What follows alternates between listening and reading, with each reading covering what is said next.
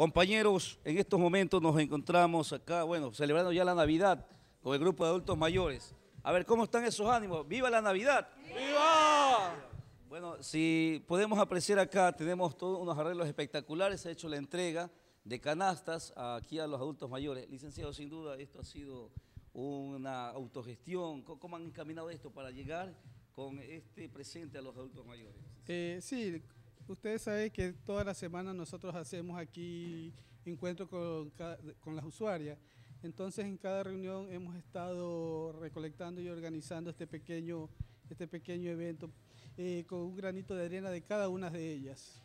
En todo caso nos adelantamos ya a la Navidad, mes de diciembre lleno de alegría, lleno de sorpresas, llena de todas estas motivaciones que realmente nos conmueven. Veamos también aquí una rica torta, ¿no? Vemos los aperitivos que se está dando, ya viene el banquete también, Luisito, ¿no?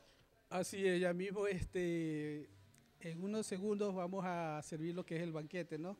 Eh, también quiero dar un agradecimiento a la señora Juanita Limones de Plúa, eh, coordinadora general del Departamento de Acción Social, que gracias a ella nos hemos podido movilizar a, este encuentro. Así como la semana pasada lo hicimos en la Estuna, de igual le quedamos eternamente agradecidos a, ella. Destacar que este programa es un convenio con el MIES y el GAG Municipal del Cantón Puerto López, en la administración del señor Miguel Plo Murillo, y así vemos cómo la situación acá eh, motivante en estas fiestas navideñas. A ver si conversamos con una de las usuarias. El nombre suyo es...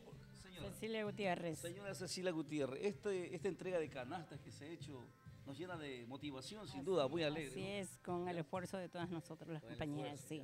Felicitaciones, que tenga una bonita Navidad. Muchas gracias. Éxito para todos. A ver, alguien más que me quiera hablar acá, acá la señora también quería decir algo.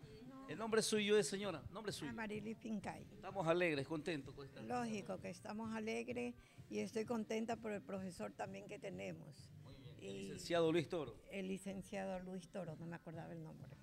Muy bien, muchísimas gracias. Compañeros, con este espíritu navideño que vivimos acá en la parroquia Salango, el grupo de adultos mayores que así celebran sus fiestas navideñas. Vamos a estudios con imágenes de Silvio Mero, informó para ustedes